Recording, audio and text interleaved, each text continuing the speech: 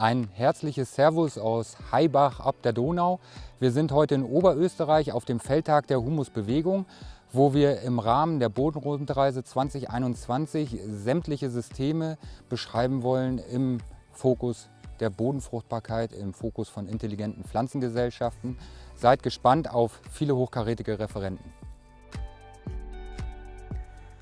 Also, mein Name ist Hubert Stark und meine Aufgabe der Humusbewegung ist sozusagen schlussendlich zu koordinieren. Ich bin ein Mitbegründer der Humusbewegung, äh, weil uns das Thema Humus schon seit Jahren immer wieder brennt unter den Nägeln quasi.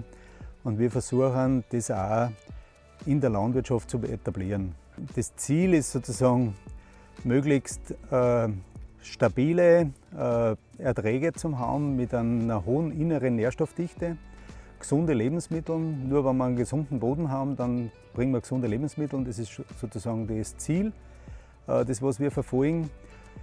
Äh, man hat ja in den letzten Jahrzehnten gesehen, dass die Landwirtschaft immer vor größeren Herausforderungen steht. Zum einen klimatechnisch, zum anderen auch, äh, dass die normalen Maßnahmen, die man bis jetzt gesetzt hat, dann doch immer nicht mehr ganz gegriffen haben.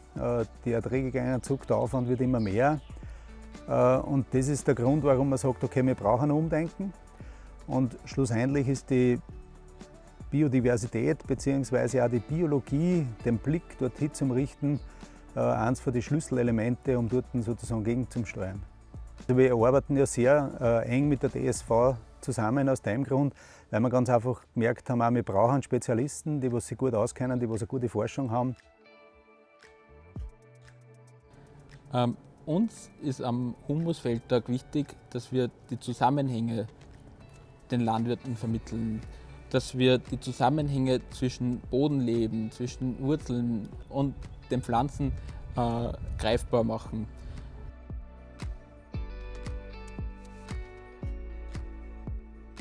Ähm, ja, wie schafft es der Landwirt, Humus in der Praxis aufzubauen? Im Endeffekt äh, fängt die erste Umstellung im Kopf an. Also man muss einfach mal bestimmte Sachen, die man bisher gemacht hat, einfach hinterfragen, ob das wirklich so gut war. Ähm, der beste Punkt einzusteigen ist Zwischenfrüchte, vor allem diverse Zwischenfruchtmischungen in die Fruchtfolge zu integrieren und die Bearbeitung zu reduzieren. Also es gibt da vier einfache Prinzipien normalerweise, eben den Boden weniger stören, ähm, Diversität schaffen, den Boden so lange wie es geht bedeckt halten und möglichst äh, lange im Jahr eine lebende Wurzel im Boden zu haben. Ja, wir haben in der Landwirtschaft auf jeden Fall den Druck, dass äh, die externen Nährstoffinputs ins System weniger werden. Aber wir haben für die Landwirtschaft selbst natürlich auch äh, die Motivation, die Bodenpotenziale, was Nährstoffe betrifft, möglichst optimal äh, auszunützen. Und ich glaube, dass es da durchaus Spielraum nach oben gibt, einen Boden aufzubauen und einen Boden in seinen natürlichen Ressourcen optimal zu nutzen. Und am Anfang steht da fraglos immer die Notwendigkeit, den Ist-Zustand des Bodens zu verstehen. Und da sind wir bei der Nährstoffanalyse. Äh, es gibt eine Vielfalt von Ansätzen, die Nährstoffe im Boden zu analysieren, die Nährstoffe zu extrahieren. Alle äh, Ansätze versuchen möglichst gut das nachzubauen, was die Pflanzenwurzel auch macht, um Nährstoffe aus dem Boden äh, für ihre Aufnahme äh, zu mobilisieren. Ich glaube, dass äh, das Wichtigste ist, dass der Landwirt versucht, möglichst viel vom Ist-Zustand seines Bodens zu verstehen. Ich glaube nicht, dass es hier ein optimales System gibt, einen optimalen Ansatz. Alles versucht die Pflanze nachzuspielen, aber das Wichtige ist, dass der Landwirt einmal über eine Bodenanalyse, eine möglichst umfassende Bodenanalyse, die sowohl die Haupt- als auch die Mikronährstoffe umfasst, den Ist-Zustand seines Bodens zu verstehen. Das Zweite, und das ist ganz wichtig zu betonen, ist, das Vorhandensein eines Nährstoffvorrats im Boden heißt aber nicht notwendigerweise, dass die Pflanze in der Lage ist, diese Nährstoffe aufzunehmen. Pflanzenernährung heißt Nährstoffvorrat im Boden und Durchwurzelung des Bodens. Nur ein gut durchwurzelter Boden und nur ein gut durchlüfteter und damit gut strukturierter Boden erlaubt der Pflanze auch alle potenziell verfügbaren Nährstoffe aus dem Bodenvorrat herauszunehmen. Um Nährstoffe, und das betrifft mit Ausnahme des Nitrats, das mit dem Transpirationsstrom in die Pflanze fließt, eigentlich alle anderen Nährstoffe braucht die Pflanze Energie. Sie muss Nährstoffe aus dem Bodenvorrat gegen ein Konzentrationsgefälle in die Pflanze hineinpumpen. Und um diese Energie aufzubringen, braucht die Pflanze Luft. Sie muss durch die Atmung, durch die Wurzelatmung diese Energie aufbringen. Das heißt, eine gute Bodenstruktur ist Voraussetzung für eine gute Pflanzenernährung. Man muss auch sagen, dass die Pflanze sehr gut oder die Wurzel der Pflanze sehr gut in der Lage ist, auf äh, den Nährstoffzustand des Bodens zu reagieren. Wir sollten die Pflanze nicht überversorgen. Wir sollten die Pflanze nicht wie ein kleines Kind äh, mit zu viel externen Input füttern, weil sie hat einfach Potenzial, äh, das sie aufbauen kann, um die natürlichen Ressourcen aufzunehmen.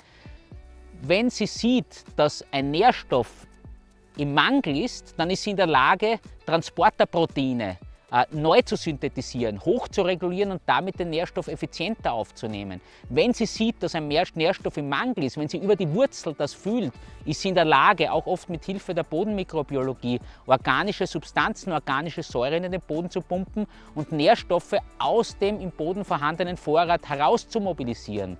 Das heißt, wir sollten der Pflanze nicht ihr natürliches Potenzial nehmen, Nährstoffe, die im Boden vorhanden sind, aber vielleicht in schwer verfügbarer oder schwerer verfügbarer Form vorhanden sind, der Pflanze ihr Potenzial zu nehmen, diese Nährstoffe zu holen. Mit Hilfe der Mykorrhiza, mit Hilfe der Bodenmikroorganismen kann die Wurzel sehr gut äh, den äh, Nährstoffbedarf der Pflanze auch abdecken. Und die Pflanze kriegt tatsächlich auch mit, ob sie in diese nährstoffmobilisierenden Potenziale investieren soll. Das Wurzelwachstum reagiert zum Beispiel extrem stark auf den Stickstoffernährungszustand der Pflanze. Wenn die Pflanze merkt, dass der Stickstoffzustand in den Blättern zu gering ist, dann synthetisiert sie Phytohormone, die der Wurzel signalisieren, sie soll in Längenwachstum investieren, um möglichst dem in Form des Nitrats mobilen Stickstoff nachzuwachsen.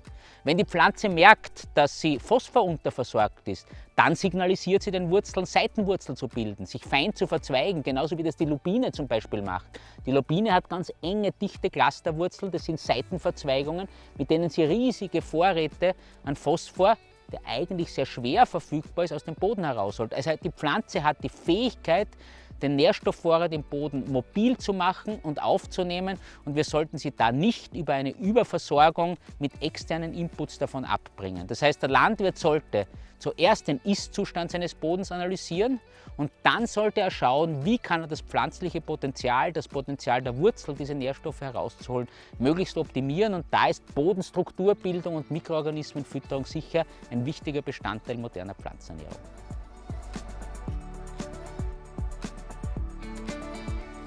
Wenn man also über intelligente Pflanzenkombinationen spricht, dann sprechen wir ja von Pflanzengesellschaften. Und Pflanzengesellschaften ähm, sind natürlich in der Lage, ein sehr breites Mikrobiom zu organisieren im Boden. Und das ist Grundvoraussetzung äh, für das Gedeihen der nächsten Kultur. Das heißt, die nächste Kultur hat die Chance, in eine Biologie hineinzuwachsen, die der Kultur entspricht, beziehungsweise es sind Mikroben oder auch Pilze, dort, die von dieser Kultur direkt äh, genutzt werden können. Wir wissen heute, dass äh, es eine hohe Pflanzenspezifik gibt, das heißt eine Artenspezifik, was dieses Mikrobiom angeht. Wir wissen aber auch, dass es eine Sortenspezifik gibt. Und da wir nicht genau äh, vorher sagen können, ja, wer braucht wen, äh, sind solche intelligenten Pflanzenkombinationen äh, natürlich sehr, sehr entscheidend.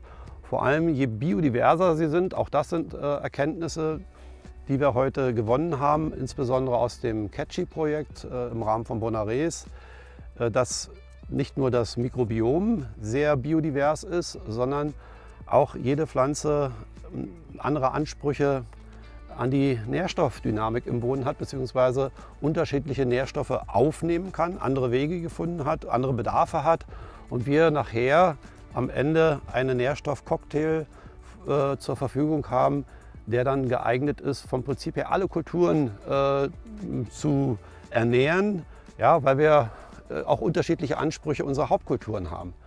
Und das äh, können solche intelligenten Pflanzenmischungen leisten. Es gibt mehrere Möglichkeiten, Zwischenfrüchte zu etablieren. Wir kennen klassisch die Sommerzwischenfrüchte, wir kennen aber auch die Winterzwischenfrüchte oder auch die Kombinationen aus beidem. Ja, Beispiel ist äh, diese Maispro, wo wir also beides haben, winterhart und äh, abfrierend. Es gibt aber auch eine weitere Möglichkeit, Zwischenfrüchte zu etablieren, das ist die Untersaat. Die Untersaat hat natürlich den Charme und den Vorteil, dass sie a. preiswert ist, weil wir mit relativ wenig Saatgut klarkommen und äh, dass man sie schon äh, in der stehenden Kultur äh, etablieren kann. Und es eignen sich ja, mit Abstrichen vielleicht bei der Zuckerrübe alle unsere Ackerbaukulturen, die wir so kennen, bis hin zur Kartoffel, eignen sich äh, für die Untersaaten. Und es gibt also auch ähm, Untersaaten, die man Beisaaten nennt. Ja, das sind also keine klassischen Untersaaten, sondern die haben eher eine unterstützende Funktion für die Hauptkultur. Beispiel ist der Raps. Und ein weiterer großer Vorteil der Untersaat ist, dass ich eben nach der Ernte der Hauptkultur äh, einen fertigen Bestand hat, der sofort wieder äh, Photosyntheseleistungen bringt, Assimilate in den Boden pumpt, das Bodenleben belebt wir haben eine lange Bodenruhe. Ja, wenn zum Beispiel eine Sommerkultur dahinter herkommt, dann haben wir praktisch anderthalb Jahre und darüber hinaus sogar in einigen Kulturen Bodenruhe. Und Bodenruhe ist wichtig, äh, um das Bodenleben äh, wieder in Ordnung zu bringen, insbesondere unsere Pilze. Hier auf der Fläche geht es darum, ähm, das Thema Wassermanagement näher zu beleuchten. Das heißt, wir wollen gucken, wie hoch die Verdunstung, also in dem Fall hier auf der Schwarzbrache, die unnütze Verdunstung auf der Fläche wirklich ist. Und dafür haben wir dieses Gerät gebaut, den Schwitzomat 2000, der einfach zeigen soll, wie schnell eigentlich das Wasser nicht nur im Boden verloren ist, sondern auch aus der Region ausgetragen wird. Und das zeigen wir insofern, dass hier eine Plastikscheibe etabliert ist, an der das Wasser äh, kondensiert und mit einer kleinen Röhre wird das Wasser aufgefangen. Und wenn man einmal guckt, und dann sieht man hier das Wasser, was wir heute Morgen seit ca. 9 Uhr, steht dieser Test, äh, eingefangen haben. Und das wäre das Wasser, was quasi durch Verdunstung in die Atmosphäre aufsteigen würde und dann aus der Region ausgetragen werden würde. Und genau das muss vermieden werden. Und wenn man sich das einmal genauer anguckt, dann versuchen wir das hier in diesem Versuch über eine Mulchschicht zu gewährleisten. Die Mulchschicht muss man sich vorstellen wie ein ja, quasi Deckel, der die Temperatur steuert und wir haben heute auf der Schicht, auf dieser Mulchschicht obendrauf eine Temperatur von über 60 Grad erreicht, während unter der Mulchschicht die Temperatur im Boden bei ca. 24 bis 25 Grad gelegen hat. Und das ist relativ gut ähm, und zeigt einfach, wie wichtig das Thema Temperatursteuerung ist. Und das aus folgenden Gründen. Je höher die Temperatur ansteigt, desto höher ist natürlich die Verdunstungsrate. Und wenn wir über eine Temperatur von ca. 35 bis 40 Grad kommen, stirbt das Bodenleben ab. Und äh, das wiederum hat zur Folge, äh, dass zum Beispiel die Bodenkrümel, die für die Infiltration von Wasser auf der Fläche sorgen oder aber auch natürlich das Wasser halten sollen, dass die äh, ihre Funktion verlieren. Und es gibt mehrere negative Effekte oder Effekte, die es hier zu steuern gilt. Und das wäre zum einen das Dichtschlemmen der Fläche zu verhindern und natürlich den Erhalt der Bodenbiologie zu sichern. Und das erreichen wir, indem wir eben Mulchschichten aufbringen oder mit äh, Pflanzengesellschaften, also einer klassischen Beisaat oder Untersaat, versuchen, ähm, den Wind aus der Fläche hinauszutragen. Und wenn wir es schaffen, diese, diese Effekte zu beeinflussen, dann sorgen wir dafür, dass äh, der Regentropfen, der ja nun für die, für die Restfeuchte im Boden verantwortlich ist, nicht mehr äh, so schnell aus der Region herausgetragen wird. Und äh, es gibt eine grobe Faustformel, wenn man über effektive Regentropfen spricht. Ein effektiver Regentropfen muss fünf bis sieben Mal in der Region verdunsten und wieder niederregnen. Und in den letzten ja, trockenen Jahren war es eben so, dass wir diese fünf bis sieben Mal nicht erreicht haben, sondern dass wir ja, bei circa zwei bis drei Mal äh, Abregnen gelegen haben. Und ähm, das sorgt natürlich für einen massiven ja, Wassermangel auf der Fläche. Das heißt, die Kulturarten fangen an zu leiden. Und genau das wollen wir mit äh, diversen Pflanzenbeständen oder asynchronen Pflanzenbeständen so gut wie möglich verhindern. Ähm, und wenn wir zusätzlich zu der, zu der Pflanzengesellschaft natürlich noch die Nährstoffdynamik betrachten, die natürlich auch einen massiven Einfluss auf die Bodenbiologie und das Bodengefüge hat, dann haben wir schon viel erreicht und für die Hauptkultur mit wenig Aufwand einen sehr, sehr hohen Effekt erzielt. Und was mindestens genauso wichtig ist wie der Effekt auf die Hauptkultur, ist natürlich auch die Systemdienstleistung gegenüber der Gesellschaft. Also wenn man darstellen kann, dass äh, wir in stadtnahen Gebieten oder verbauten Gebieten ähm, zum Beispiel die Infiltrationsrate von Wasser innerhalb der Böden steigern, dann ist das durchaus ein positiver Effekt, den man auch sehr, sehr gut darstellen kann. Wenn wir zusätzlich noch die Bodenbiologie fördern, dann hat das ebenfalls einen sehr, sehr positiven Effekt. Nicht nur, ähm, weil, wir, weil wir zum Beispiel die Nährstoffdynamik der Hauptkultur verbessern, sondern weil wir auch dafür sorgen, dass wir gesunde Nahrungsmittel produzieren. Und das, denke ich, sollte das Ziel von allen sein. Und dazu bietet eben dieser Test einen sehr, sehr schönen Auftakt, um bildlich darzustellen, was so an, in der Fläche ja, an Funktionen ja, hervortritt oder in Kraft tritt und wie man diese vermeiden kann. Heute wurde im Rahmen der Bodenrundreise 2021 ein sehr, sehr wichtiges Etappenziel erreicht. Wir sind auf dem Feldtag der Humusbewegung gewesen und durften diesen von Anfang bis Ende begleiten. Und was mich persönlich sehr freut, ist das extrem hohe Interesse der Landwirtschaft rund um die Themen Bodenfruchtbarkeit, immergrüne Fruchtfolgen. Und mich freut es sehr, dass die Landwirte mit aktiven Fragen und mit wirklichen ja, Mitmachen diesen Feldtag mitgestaltet haben. Vielen Dank für das Interesse.